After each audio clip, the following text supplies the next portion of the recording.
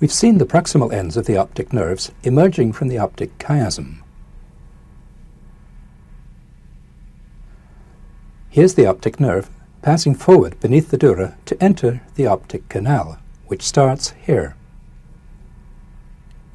Here's the optic canal in the dry skull.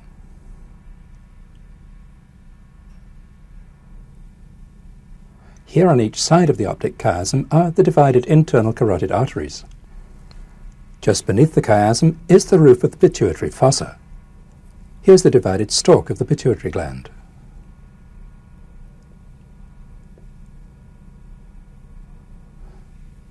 To follow the optic nerve, we'll remove the roof of the orbit, leaving the optic canal intact.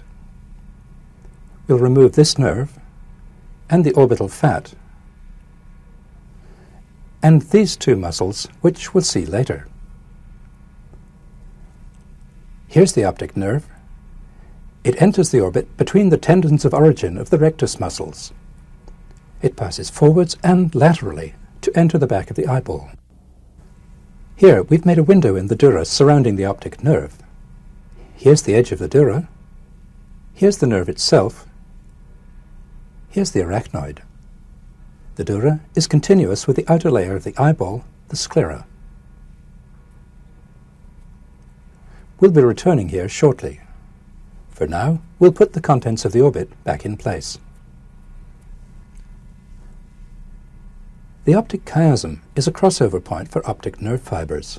The fibers of each nerve that connect to the medial half of the retina cross over into the opposite optic tract. The fibers that connect to the lateral halves of the retinae stay on the same side.